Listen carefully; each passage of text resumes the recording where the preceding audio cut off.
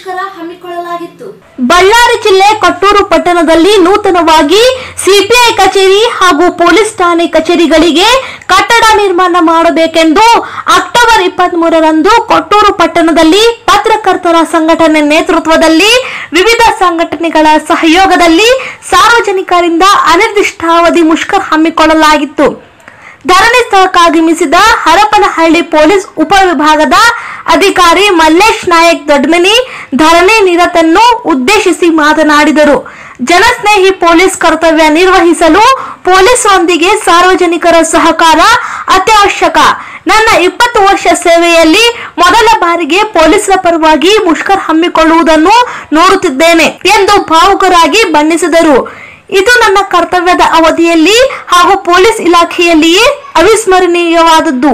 ಇದಕ್ಕಾಗಿ ತಮ್ಮ ಅಭಿನಂದನೆಗಳನ್ನು, ಕೃತಜ್ಞತೆಗಳನ್ನು ಕೊಟ್ಟೂರಿನ ಜನತೆಗೆ ಹಾಗೂ ಸಮಸ್ತ ಧರಣಿ ನಿರತರಿಗೆ ತಿಳಿಸಿದರು. ಹೆಲ್ತ್ ಕೇರ್ ಅಸಿಸ್ಟೆಂಟ್ ಕೆಲಸ ಮಾಡಲು ಇಚ್ಛಿಸುವ ಮಹಿಳೆಯರಿಗೆ ಉಚಿತ ಊಟ, ಉಚಿತ ವಸತಿಯೊಂದಿಗೆ ಮಹಿಳಾ ಅಭ್ಯರ್ಥಿಗಳನ್ನ ಸಂಸ್ಥೆಗೆ ನೇರ ನೇಮಕಾತಿಯನ್ನ ಮಾಡಿಕೊಳ್ಳಲಾಗುವುದು.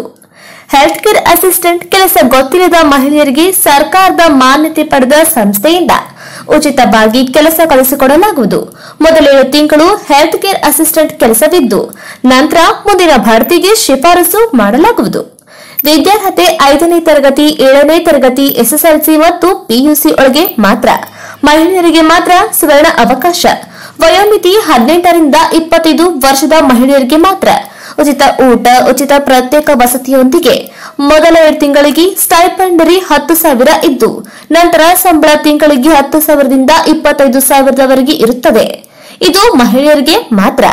ಏಜೆನ್ಸಿ ಅಲ್ಲ, ಇದು ಸರ್ಕಾರದ ಮಾನ್ಯತೆ ಪಡೆದ ಸಂಸ್ಥೆಗೆ ಒಂಬೈನೂರು ಮಹಿಳಾ ಅಭ್ಯರ್ಥಿಗಳಿಗೆ ನೇರ ನೇಮಕಾತಿ ಮೊದಲು ಬಂದವರಿಗೆ ಮೊದಲಾದ್ಯತೆ ಸಂಪರ್ಕಿಸಿ ಎಂಟು ಏಳು ಒಂಬತ್ತು ಏಳು ಎರಡು ಆರು ನಾಲ್ಕು ಆರು ಆರು ಐದು. ಎಂಟು ಏಳು ಒಂಬತ್ತು ಏಳು ಎರಡು ಆರು ನಾಲ್ಕು ಆರು ಏಳು ಆರು.